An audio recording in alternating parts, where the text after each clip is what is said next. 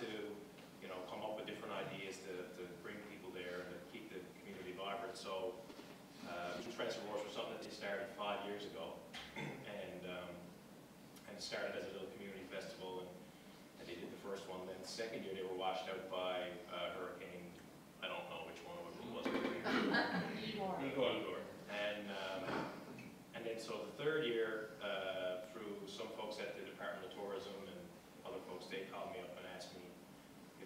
interested in getting involved, to give them an idea of something different that they could do that might generate some travelers to go out there. They've been getting uh, consultations from all kinds of consultants and people in community development, stuff like that. So anyways, we, they called me up and I said, sure, I'd spend some time thinking about it. And basically, you know, it's, it's, it's as simple as uh, food and music. I mean, that was all we did. It's a, they have a stunning backdrop like you guys do here, and and I know guys who cook food, and I know guys who music. So I called them all up and said, let's go have a party up in Elliston. Will people come? And that's, that was basically it. And everybody, you know, who's sitting here has been part of it.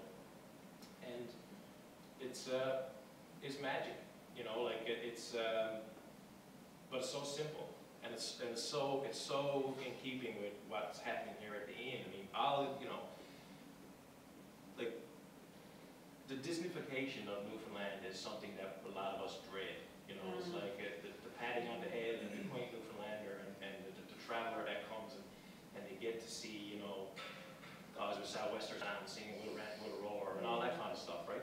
The thing about it is, is what's cool about Newfoundland is not that, you know, and, and it's so, it's so cool. And it's like, we're too cool for school, like it's, no, it really, like it really is, like the, the, the impact that it has, and um, you guys must see it here all the time. I mean, the impact that Newfoundland has physically the place, the people, the food, the music, it changes people's lives. And, uh, and that is not an overstatement. We, we have a little B and B in St. John's, and we see it all the time. There are people, and Murray and I were talking about this last night. We've had people stand on the, the doorstep of our old Victorian house on Gower Street, heading back to the plane to go back to Toronto, with tears in their eyes, because they have, they're leaving. You know, so, um, I think that, you know, in terms of food culture and stuff like that, we're just taking advantage of what we got.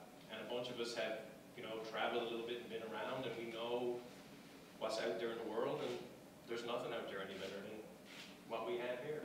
And I guess the confidence level that we have now, uh, you know, over the last number of years, and just, you know, the general way that Newfoundland is viewed has helped us. And then you can't discount the fact that the economy, especially in St. John's area, is, is rocking. So for restaurant business, I mean, that's what breads are, you know, butters our bread. So that lets us be able to do this kind of stuff.